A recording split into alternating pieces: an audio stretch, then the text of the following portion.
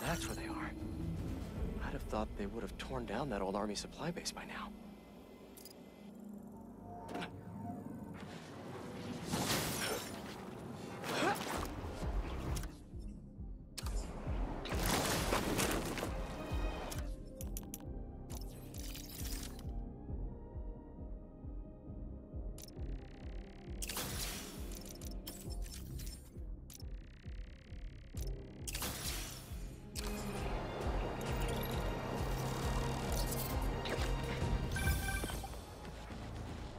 Hunters have taken over this abandoned army supply base and turned it into a drone station. Are there bird drones? Why didn't they just pick an aviary? Does it matter? They're making these drones to kill you. Good point. Let's stop that from happening. Be sure to hook the powering up the drone. If you can tether your web from the charging station to a power supply, you'll overcharge them into oblivion.